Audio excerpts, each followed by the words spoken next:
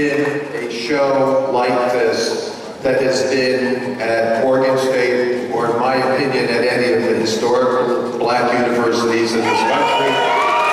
And, you know, every night, this group of people recreate the life of Fela Kuti and what happened in Nigeria in 1977. But we all know this is not just about Fela Kuti and about Nigeria 1977. This is about speaking out for the struggle for justice, speaking out and being committed to stand up for human decency, and that's why we're here. And I do want to say and acknowledge that in our audience tonight is a very, very important person, a very important woman, who because of great personal loss, because of fate and circumstances, has become one of our country's major spokespeople in the struggle for justice. And uh, we dedicate this show to you, Sabrina Fulton, the mother of Trayvon.